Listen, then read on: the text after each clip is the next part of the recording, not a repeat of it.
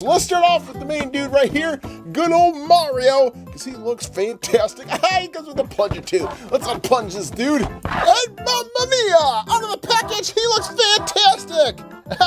yeah, looks like Mario from the movie, and he looks great. Ah, just love what they did with the eyes. Look at that. I really can look right into him and see that the uh, pupils are actually inside the figure. Wow, that's pretty cool. It's not just painted on. Oh, I love it. So yeah, I love how they did that. The hat looks cool. And yeah, they give him a more realistic design over the uh, other Marios that we've got in the past. And I gotta say, he looks great. Oh man, look at all the, uh, the joints. Oh, they're all hinged and articulate.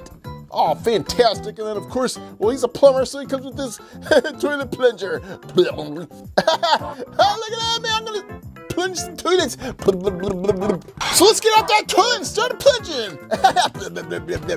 and of course, what we find what's plugging this thing up. Oh, it's a Goomba. Oh, Mamma Mia. Oh, a Goomba's in there. Oh, get out of there. oh, man. Oh, your clog is fixed, ma'am. All done thanks to the Mario Brothers plumbers. Oh, All right, taking a look at the last of the regular action figures here, and now we have Peach, the uh, damsel.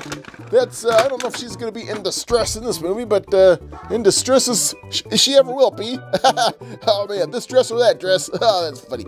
So yeah, look at the eyes, same kind of a deal. The pupils are inside of the action figure. That's pretty cool. I like how they do that. And uh, yeah, her dress is all big old puffy. And yeah, she's got long hair, all kinds of articulation, and she got little feet. Look at that! and little feet at the bottom. Oh, so cute. So there is Princess with her cool looking umbrella. Oh no, so yeah, she can put it in her little hand there.